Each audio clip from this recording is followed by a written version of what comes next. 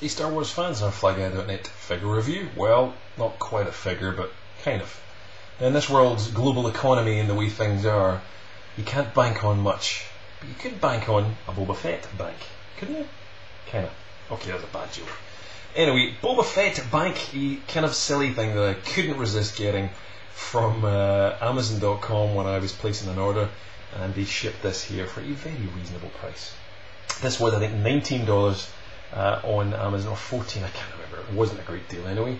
But uh, this pretty cool bust is very detailed. Now, we talked about this on our podcast with uh, SithLord229, uh, recently one of the boring conversation anyways, when we looked at BigBadToyStore.com stock. And they had it for stock also. I think, I think they've just got their stock in right now. But they've got the Boba version, there's a Jango version of this. Um, no doubt we'll get other versions in the future, but it's actually pretty detailed. It's very solid. It's very thick, hard plastic. And in the back of it, you'll see there's the slot for the coins. There's a sticker over the base there. Just uh, there you go. There's some more details on that. Star Wars Boba Fett Bank. Sorry, that's a little out of uh, focus. There we go. And you can see the paintwork's been applied really well in terms of the scratching and the silver, all the effects over that, the guns on his, uh, his darts, the chest plate, even the cool little Mando logo. The facial sculpt's pretty good.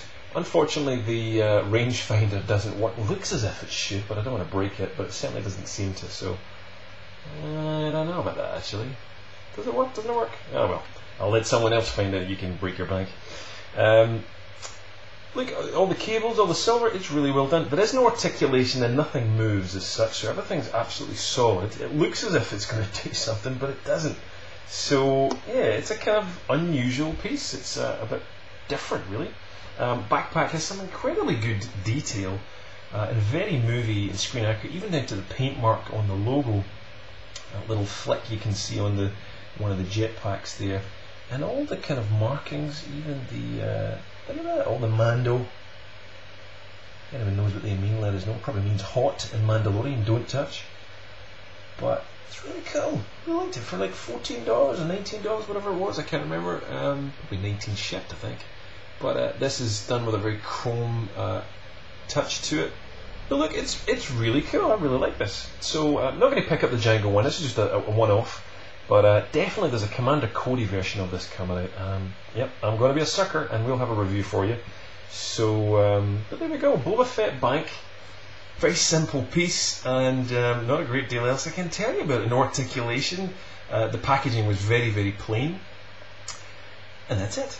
So let us know what you think and uh, do us a favour and just above Boba's head hit that subscribe button. Uh, let us know what you think. Click like, give us a comment and join the 1300 odd other people, with these other fantastic after see Star Wars fans on facebook.com slash flyguy.net. There's a great community there. Thank you to everybody who joins that page every day and leaves comments. They're a great bunch. Some really funny stuff these guys leave, which is really cool. Some very good comments. But uh, there we go. Boba Fett back. Stay tuned for lots more reviews coming up. And uh, we'll see you for them soon. Cheers.